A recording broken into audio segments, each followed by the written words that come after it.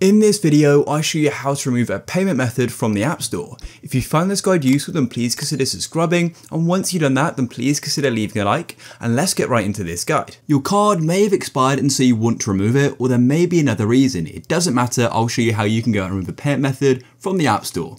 So of course, first you go and open up the App Store and then go to any App Store page. I'm just on the Today page as that's what it loaded up on. And then what you need to do is go to the top right of the App Store. And as you can see, I've got a custom profile picture. However, you may say have a blank sort of icon with a person in it. So go and click on that there, and that's then going to go and open up the account page.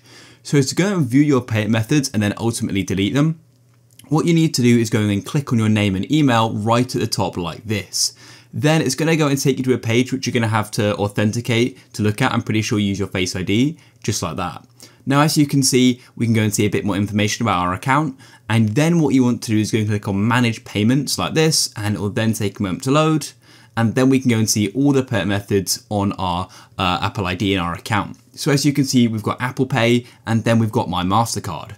So if I then wanted to go and delete my MasterCard, I'd go and click on it. And then at the bottom of the page, as you can see, I then have the option for remove payment method. So I could then go and click on it like so, and I can then go and confirm my decision by pressing remove again, and that payment method will then be removed from the App Store. It's that easy, guys. And if you then want to go and add another, you can come back to this manage payments page by clicking in the top left and then you can click on add payment method uh, and you can go and choose a new one to go and add. You can then go and click on add payment method and you can choose a new method you would like to go and add. So if you guys found this useful, please consider leaving a like. Peace.